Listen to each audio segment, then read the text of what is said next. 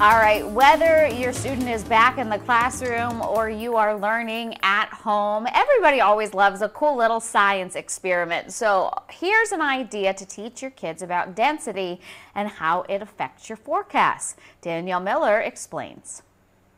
Back to school means back to science class, and I want to make learning as fun as possible. So today we have an experiment. We are going to make a DIY lava lamp and talk a little bit about density. Here's what you're gonna need. First off, some vegetable oil.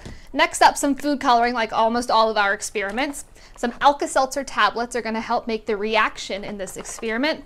Some water from the sink or your tap, as well as a clear glass or a jar, or maybe even an old soda bottle will do the trick. You'll want to start by filling your container about three quarters full of oil. Then fill the rest of the container up with water. You can drop a few drops of food coloring in too. The first thing you want to notice is that the oil stays on the top of the jar while the water sticks to the bottom. That's because water is more dense than the oil. Density is equal to mass divided by volume. So the heavier an object or liquid is and the more compact it is, the denser it's going to be. Water molecules are also polar. Meanwhile, oil is a nonpolar substance, which is why the two don't mix. To create our lava lamp, all you need to do is break up the Alka-Seltzer tablets and drop them into the container.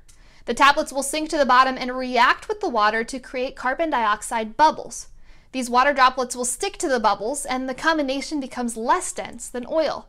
This causes the water to rise to the top so that the gas can escape. Once the gas escapes into the air, the water returns to its original density and sinks back down. To keep the lava lamp going, keep adding more tablets to the container. Let us know if you do this experiment or if there's any other science lessons you would love to see us cover here on News 19. I'm Danielle Miller. Wow, that is such a cool experiment. Thank you, Danielle. And I know that one kind of had a lot of pieces and parts. So if you want instructions, just look for Danielle's story at WLTX.com.